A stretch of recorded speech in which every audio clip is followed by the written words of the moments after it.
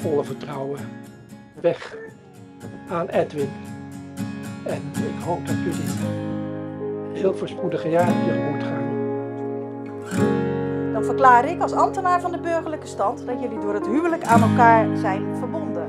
Jullie zijn getrouwd.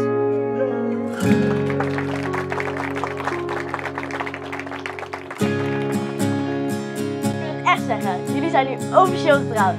Eigenlijk eerder al, maar we doen eens alsof dat niet gebeurd is. We leven nog lang en gelukkig. Dankjewel, lieve. Dankjewel meisjes. Hartstikke goed gedaan.